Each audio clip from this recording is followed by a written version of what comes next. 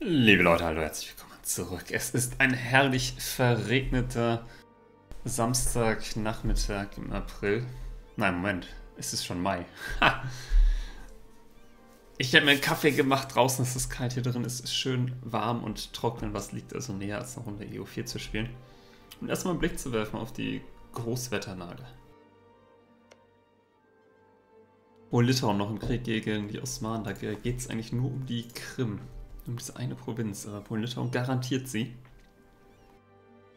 Ach, und die Krim hat auch noch einen Vasallen, das ist natürlich interessant. Na gut, das wird die Osmanen nicht abhalten.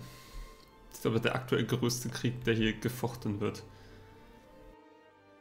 Frankreich gegen Vianaga. Vianaga ist ja wirklich nur so ein Fetzen hier. Ansonsten noch das Mogulreich gerade gegen Bengalen im Krieg, aber mit Malwa zusammen sollte das gar kein Thema sein. Ansonsten ist es eher ruhig meines Erachtens nach in der Welt. Kastilien, ja, kleiner, kleiner Kolonialkrieg, würde ich sagen. Wenn man sich mal umguckt, Kastilien echt umtriebig auch, ne? Hier. Auch alles ihr Land. Nicht ohne Grund sind sie als Großmacht immer noch vor uns angesiedelt. Nochmal ein deutlicher Happen mehr an Entwicklung. Aber wir haben eben den Vorteil, wir haben ein sehr starkes, kompaktes, leicht zu verteidigendes Land. Das mag ich tatsächlich so sehr an Italien hier mit diesem Alpengürtel. Und wenn man dann eine ordentliche Flotte hat, ist das alles gar kein Thema. Also die bauen wir gerade neu auf, diese Armada. Wir haben ja das Geld, Leute, Leute, Leute. Das sieht doch ganz gut aus. Hier ist alles auf dem neuesten Stand, ne? Ja. Ich will aber tatsächlich mal zum Start sagen, hey komm. 40 Transportschiffe müssen schon sein. Wenn ich jetzt immer so prototypisch 40er Stacks baue, will ich auf 40.000 in einem bewegen können. Ja, wir sind hier schon längst drüber, aber das ist gar kein Thema, Leute. Jetzt weiß man gar nicht, will man in Zeiten vom aufblühenden Humanismus noch großartig missionieren oder einfach den inneren Frieden so halten? Sagen wir mal so, da wo es besonders billig ist, werde ich es machen, sonst lassen wir es, glaube ich. Entscheidungen ist alles alt. Will ich irgendwas noch bauen? Hier ist halt echt der Punkt, das rechnet sich wohl kaum noch. Ich will weiter Universitäten bauen. Natürlich die berühmte Universität von Athen, auch in Friol, Treviso, Istrien, Dalmatien. Arezzo, Pisa. Luca, komm, das ganze Zentrum bauen wir jetzt einmal hier durch mit Universitäten.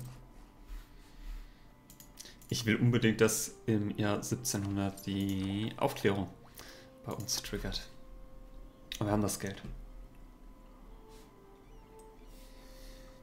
Ich könnte eigentlich hingehen und sagen, wir investieren dann auch hier mal noch in einen besseren Berater.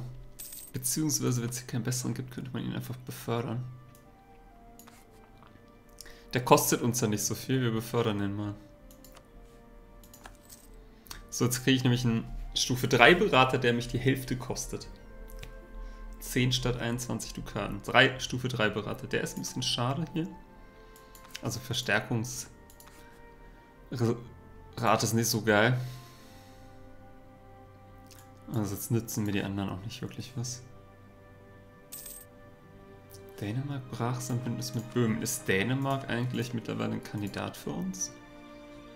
Durchaus, durchaus. Natürlich jetzt nicht mal ganz so attraktiv, wenn sie das Bündnis brechen, aber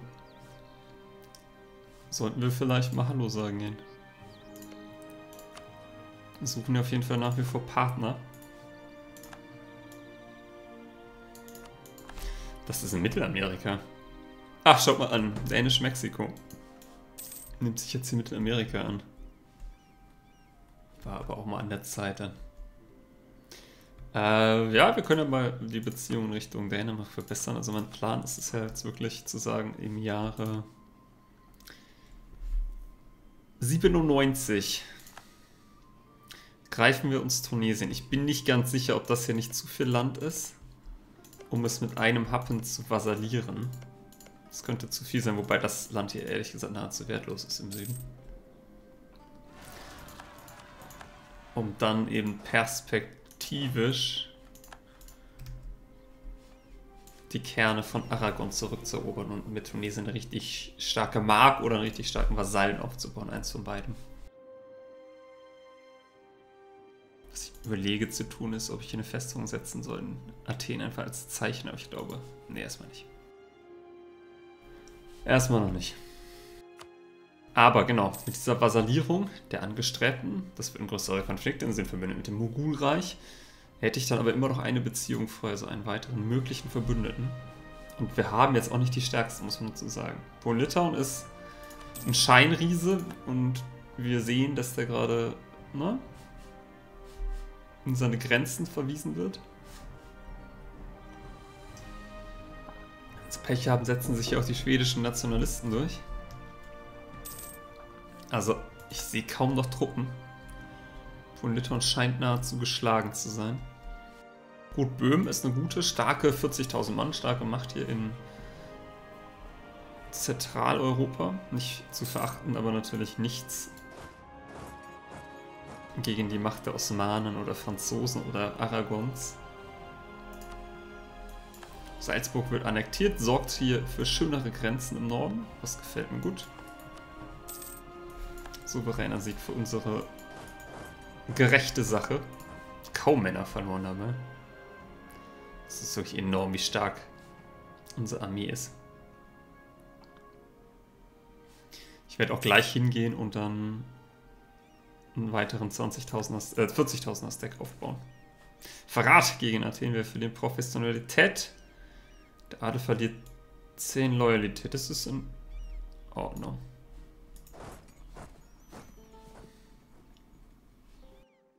So, das wird dann, sobald ich hier die 40.000 habe, auf 120.000 Mann blicken können. Ich will den nicht nochmal haben eigentlich. Unruhe global müssen wir jetzt eigentlich einen Weg drumherum nehmen. Wir nehmen einen anderen. Doria wird Herrscher. Senken wir gleich die Unruhe mit ab. Erhöhen aber die Baukosten. Aber gut, wir haben eh fast alles gebaut, was zu bauen ist aktuell. Das hat das Schöne, wir erobern ja nicht nur gutes, entwickeltes Land, nein, wir erobern auch komplett ausgebautes Land immerhin in der Regel.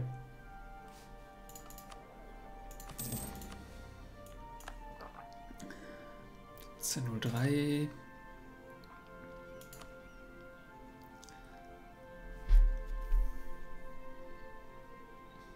Kann ich. Kann ich anwenden. Moment. Nee, kann ich nicht. Bin ich blöd. Warum ist, es, ist sie nicht verfügbar? Die, äh, die, achso, ich bin bei 28%. Ui, Wachstum des Geschäfts für Kristall. Nochmal zwei Grundproduktionen in Venedig ist natürlich ordentlich. Boah, 44 Entwicklungen jetzt in Venedig. Das ist aller Ehren wert. Das ist richtig teure Punkte, ne? Guck mal, was, was wir hier bezahlen müssten. 250 Machtpunkte ungefähr zusammengenommen für zwei Punkt, äh, für zwei Grundproduktionen. Ich nehme jetzt ehrlich gesagt irgendwas. Polen hat Astrachan den Krieg erklärt. Moment, wurde hier gerade Frieden gemacht? Auha! Eieieiei.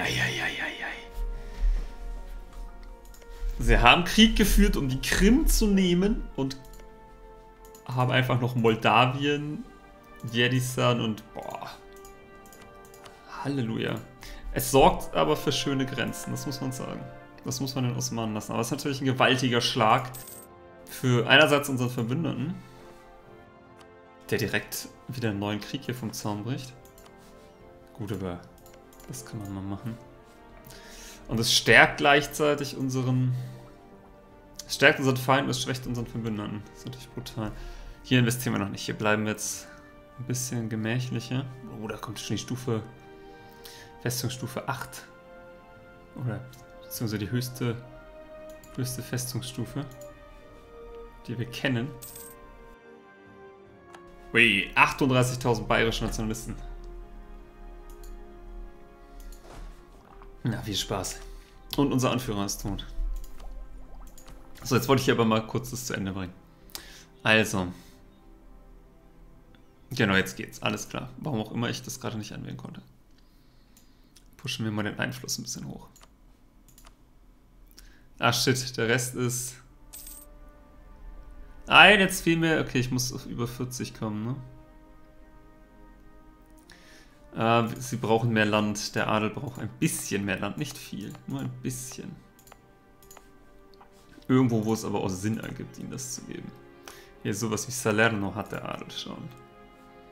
Concenza geht an den Adel. Pushen wir sie ein bisschen hoch, genau auf 40%, wunderbar. Können wir noch den Minister rekrutieren. 55. Kann ich einen General mitnehmen. Und bin genau bei 75 und krieg 150 Macht. Womit ich am Cap bin, jetzt muss ich mal gucken. Es wäre mir jetzt eigentlich zu teuer, 50% Aufschlag zu zahlen und Tech 24 mitzunehmen. Deswegen pumpe ich ein bisschen Macht hier in Venedig rein einfach noch. So, wir bauen Venedig jetzt mal. Venedig schon eine Uni? Ich meine, das müsste hier stehen. Oh, Küste ist sehr teuer. Okay. 25%. Ich habe nicht beachtet, wie teuer Küstenprovinzen sind. Dann, dann war das ein bisschen sehr ähm, generös von mir gerade.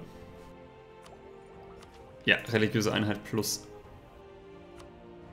Genau. Plus 25%, das ist ein Maximum an. Sogar. Nein, wir haben sogar über 100%. Religiöse Einheit haben dadurch eine Mission abgeschlossen. Welche? Hä? Ach, da oben. Bastion des Glaubens. Moral und Missionarsstärke. Für 15 Jahre. Brauche ich im Moment nicht. Lasse ich im Köcher. Hoffe aber, dass ich dran denke.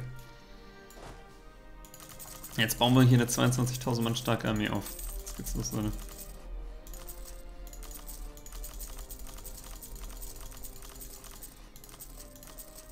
Ich glaube, ich habe eine Infanterieeinheit zu viel. Jetzt komme ich nämlich da auch auf 40.000 Mann. Dann haben wir 120.000 Mann unter Waffen. Dann gucken wir nämlich gleich mal, wo wir damit dann stehen im weltweiten Vergleich oder überhaupt, wo wir gerade stehen. So, den Anspruch können wir ja auch klar machen. Gucken wir mal. Dänemark ist an dem Bündnis interessiert. Dänemark ist natürlich defensiv gesehen eigentlich attraktiv für uns. Ich weiß nicht, ob es zu Spannungen kommen wird zwischen Dänemark und Polen-Litauen. Nö, sieht nicht so aus. Kein Interesse zumindest an dem Land. Andersrum ja, aber Dänemark ist auch zu schwach, um sich mit Polen-Litauen anzulegen. Da die Allianz mit Frankreich oder Großbritannien gerade nicht in Reichweite ist. Dänemark relativ gefestigt wirkt auf mich. Bin ich bereit, dieses Bündnis einzugehen. Sehe ich eher defensiv? glaube nämlich nicht, dass ich genug Gefälligkeiten hier auf... Also sie würden mir so oder so, glaube ich, nicht folgen in dem Krieg, den ich im Süden gegen das Osmanenreich folge, weil er einfach zu weit weg ist. Deshalb spare ich mir das. Das machen wir zu einem defensiven Bündnis. Genau. Osmanen, äh, Böhmen und Polen-Litauen vertrete ich bei, bei Genua und Dänemark nicht. So, haben wir eine neue Allianz zu feiern. Hervorragend. Oh, die Kernprovinz verloren, das ist bitter. Dann können wir das uns sparen. Haben wir noch ein paar Ansprüche? Hier haben wir Ansprüche. Gegenüber Mailand brauchen wir perspektivisch neue Ansprüche. Hier haben wir den wichtigen Anspruch auf Tunis. Und jetzt auch hier Kernprovinzen in Cremona. Die Lombardei machen wir dann auch gleich zu einem Staatsgebiet. In Astrachan. Ach, warum nehmt ihr nicht alles? Wenn ihr hier schon solche Grenzkorrekturen durchführt. Aber man muss sagen, so im ausgehenden 17. Jahrhundert, die Grenzen wären schöner. Also mein, wirklich, das hasse ich hier. Das finde ich auch ganz schlimm mit anzusehen. Davon abgesehen geht es eigentlich alles. Ne? Im Reich, gut, hier haben wir selber für Chaos gesorgt und das Reich verglichen damit, wo es angefangen hat, ist da schon einig, einiges Gutes passiert. Sagen wir es mal so. So, bauen ruhig noch ein paar Ansprüche auf. Wir nähern uns dem Jahr 97. Wir nähern uns dem Krieg gegen Tunesien. Wann genau? Januar 97 ist ja super. Sterben ja alle, sterben ja alle Generäle weg. Den haben wir gerade bekommen, der ist natürlich viel zu schwach eigentlich. Es wird auf jeden Fall einen weiteren General brauchen. Uns auch noch einen leisten. Ein neuer Name. Ja, Filippo Stocco. Sehr gut.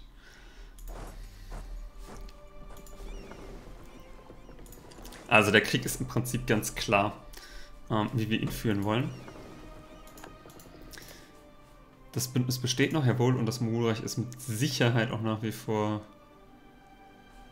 Oh, sie verlieren diesen Krieg? Minus 40 Prozent. Ich wollte gerade sagen, sind mit Sicherheit äh, willens zu verteidigen. Ja, aber nicht mehr so extrem, okay. Gucken wir mal. Also wir werden von Palermo aus mit 40.000 Mann übersetzen.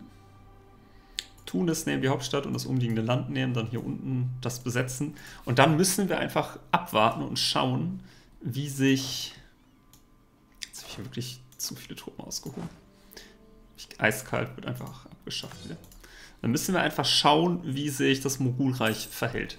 Marschieren sie auf Tunesien, versuchen sie ihren Verbündeten zu befreien, dann werde ich ihnen hier begegnen. Marschieren sie nach Norden, werde ich dort begegnen. Wir haben den riesen Vorteil, wir kontrollieren das Mittelmeer, wir können einfach Transportschiffe hin und her schicken. Also die Lombardei wird zu einem integralen Bestandteil unseres Reiches. Oh, da fehlt uns genau ein bisschen Macht noch hier. Eine neue Tech. Ach nee, ich wollte doch hier Limetten. Ah, gegen Skorbut. Flottenmoral. Trabakel Zweidecker. Börse, okay, das ist interessant.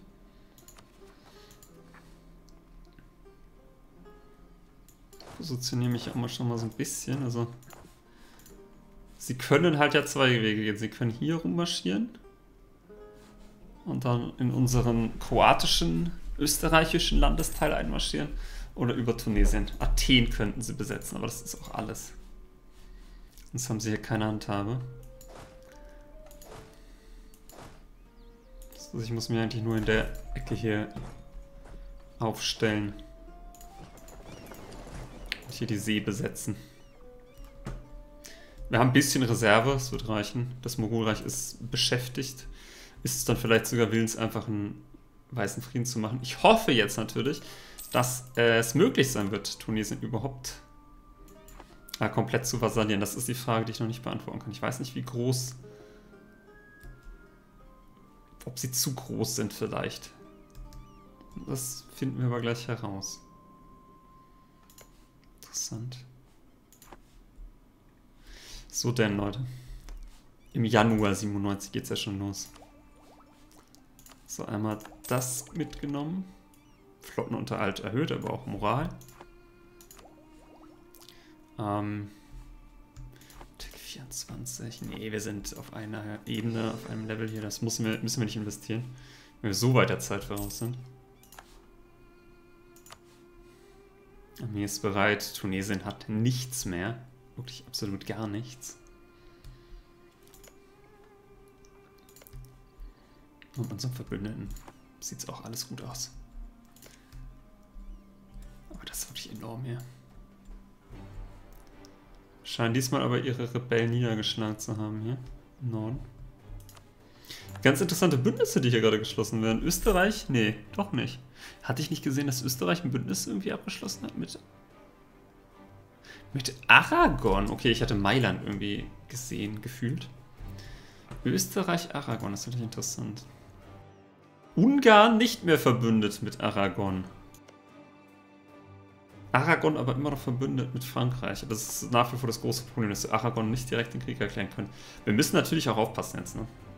Das gilt nach wie vor. Wenn ich jetzt in den Krieg reingehe, wird man am Rufe in äh, Valencia sich natürlich fragen, hey, ist es jetzt Zeit, die Rückeroberung zu starten? Mit Österreich zusammen. Beide Nationen hoch motiviert. Kann man dann Frankreich vielleicht zu gewinnen in einen Angriffskrieg gegen uns? Deswegen mal Beziehungen bei Frankreich noch hochpushen. Armeeprofessionalität für 500 Dukaten. Ja, nehme ich doch gern. Stufe 2 Moral. Ja. Kostet nicht so viel, ne? Das ist ein Holländer, das heißt, ich kann ihn nicht befördern.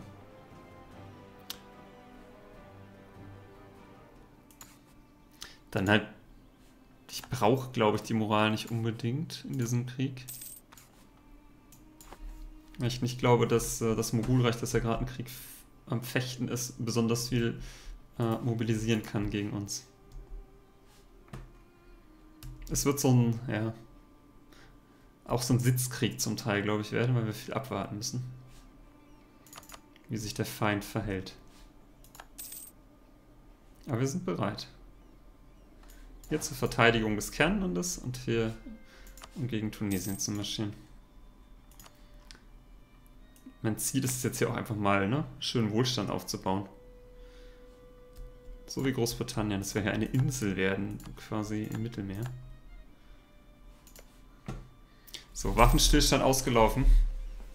Mit den Osmanen, das ist auch halt eine Gefahr, ne? Wir wissen, was sie wollen. Die könnten sich auch gegen uns wenden und Politon ist angeschlagen. Also auch da keine Garantien für nichts.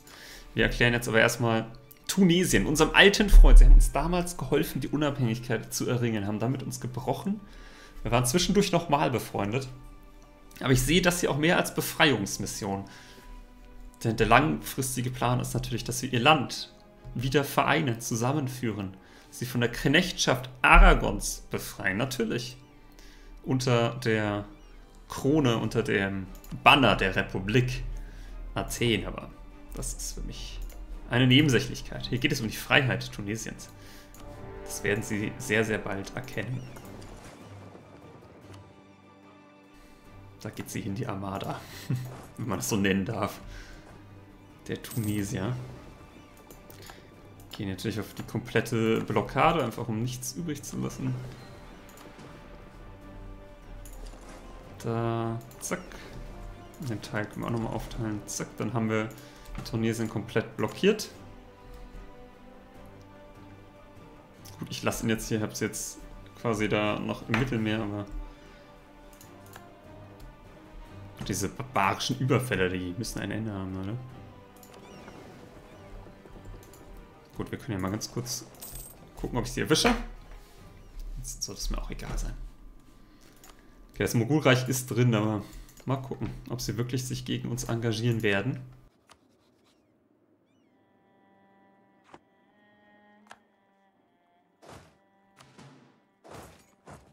Wucherei! Wunderbar, für Ruhe gesorgt. Dann können wir eigentlich auch gleich noch nach Djerba gehen.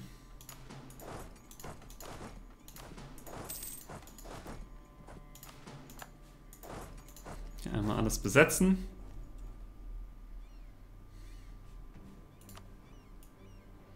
Tatsächlich zahlenmäßig sind sie uns überlegen.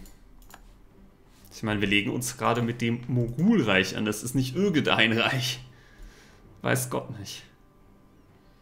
Aber wir verlassen uns darauf, dass wir hier die Heimatfront haben und damit im Prinzip alles im Griff ist.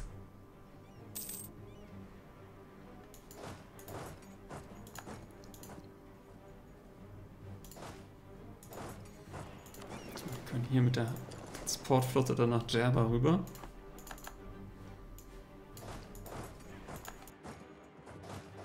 Teilen wir nämlich auf in zwei 20.000er Stacks. Und Tunesien wird gefallen sein, bevor das Mogulreich überhaupt Kunde erhält von dem, was hier geschieht in Afrika, in Nordafrika. Das Osmanreich erklärt den Mameluken den Krieg. Das war absehbar, dass es da eine Fortsetzung geben würde. Und das macht das Osmanreich gewinnt eine Menge in diesem in dieser Episode. Sie werden jetzt wirklich das letzte Land wahrscheinlich der Mameluken mehr oder weniger schlucken können. Haben hier gegen Polen-Litauen schon gewonnen, also ich glaube nochmal werden diese nicht in so einer Phase der Schwäche erleben können. Ich darf sogar annehmen. Okay, mal gucken, wie das jetzt vonstatten geht.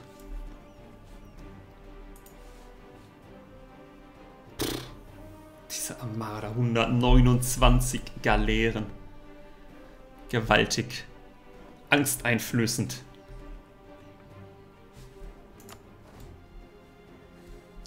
Und soweit aber alles recht souverän. Das Mogulreich mag Truppen haben, aber sie werden halt nicht so viel hier rüber marschieren. Kann ich mir nicht vorstellen. Sie werden nicht mit 80.000 Mann jetzt hier plötzlich an unseren Grenzen auftauchen. Ich glaube, alles, was sie haben, können wir zurückschlagen. Es wird halt nur nervig sein. Aragon gegen Fulbe, interessant. Oh, entschuldigt. Ähm, es wird nur nervig sein, weil wir so einen Krieg nicht allzu schnell zu Ende bringen können. Dann. Das brauchen wir nicht. Djerba gefallen. Können wir auch hier rüber marschieren. Hier war doch noch irgendwo eine tunesische Armee. Oder, oh, da ist die tunesische Armee. Halt, stopp. Ach, jetzt habe ich Zugriff plötzlich auf das Land. Alles klar. Dann kommt es in der Wüste von Gadames nicht zur Entscheidungsschlacht. Wahrscheinlich in Tripolis, an der Küste. Wir den Hafen einlaufen.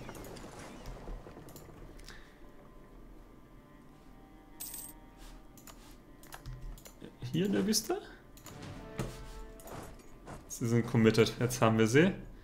In dem Mamlukenreich helfe ich natürlich gerne. In seiner gerechten Sache gegen die osmanische Invasion, aber denn ich glaube, es wird nicht allzu viel sein, was da zu erreichen ist. Wir halten mal unsere Beziehungen überall hoch. Bei den Franzosen waren wir gerade schon, richtig? Auf 100, dass uns der Aragon nicht irgendwie in den Rücken gefällt. Hier sieht es auch sehr gut aus. Ja, Böhm ist uns auf ewig dankbar. Machen wir uns nichts vor. Dänemark sieht... Können wir auch nochmal hochpushen. Wunderbar. Ja, gar kein Problem. Diese Tunesier. Da hier, da hätte. Das reicht nicht. Schaden, Fernkampf. Plus 10%. Gewaltig. Aufsplitten einmal alles. Nicht noch viel weiter. Zack. Jetzt bin ich mir wirklich sicher, wo ich jetzt überall Truppen hingeschickt habe. Einfach mal überall hin. Die zwei Schiffchen hole ich mir auch noch. Ja, da sind ein paar Schiffe übrig, aber gleich haben wir Tunesien, glaube ich, komplett besetzt. Es gibt dann auch keine, keine tunesische Armee mehr. Wir müssen dann wirklich nur gegen auf die mamelukische die mamlukische, die mogulische Offensive warten. Und einfach nur abwarten, bis wir die Lust verlieren. Das sollten wir nicht mitnehmen. Aggressive Expansion plus 5. Da bezahle ich dann sogar mal mit Macht.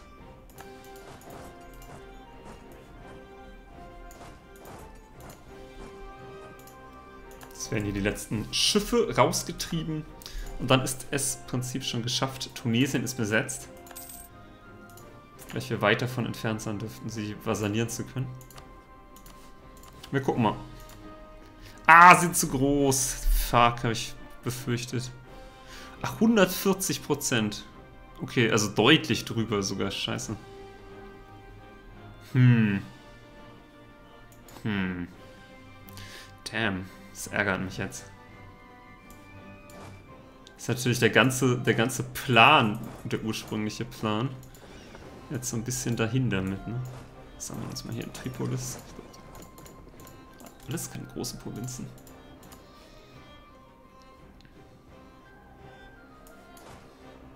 Jetzt weiß man auch nicht so richtig, was man machen soll mit so einem Frieden. Klar, ich könnte jetzt hier natürlich Land nehmen.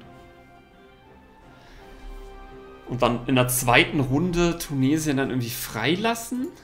So dass ich müsste sie jetzt halt auf unter Ja, ich müsste ungefähr einen 40, 50 Prozent Warscore quasi, also 50, 40, 40 bis 50 Prozent Frieden machen und dann in der zweiten Runde den Rest einfach zu vasallieren. Huch. Jetzt nicht besetzt. Und dann müsste ich jetzt vielleicht auch gar nicht so großartig jetzt darauf warten, was die, äh, was das Mogulreich macht. Das ist natürlich ärgerlich, aber es war tatsächlich fast absehbar, dass hier Tunesien vielleicht auch noch einen Ticken zu groß ist für uns, um sie einfach mal so zu schlucken. So, jetzt haben wir schon wieder zu viel Macht. Ja, bei 15% bezahlen wir das mal. Würde ich sogar jetzt demnächst hier in die neuen, besseren Festungen setzen. Hier zumindest direkt im Norden. Kern und Tirol mal wirklich zu absoluten Spitzenklasse ausbauen. Zur Sternfestung. Ah, genau, sechs waren nur Bastionen. Glaube ich fälschlicherweise. Auch zur Sternfestung erklärt.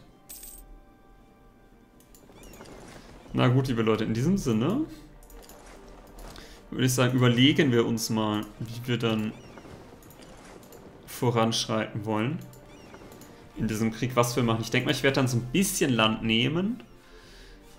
Ich kann halt hier auch keinen anderen Vasallen erschaffen. Das ist ein bisschen problematisch. Und das ist auch Berberland, glaube ich. Bin ich ganz sicher.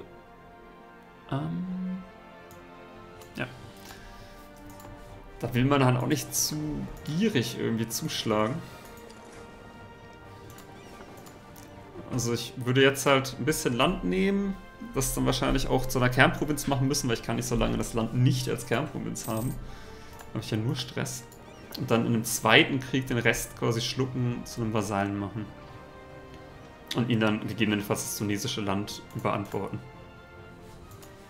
Oder eben nur Teile dann, ne, dass, dass der Rest quasi dann athenisch bleibt.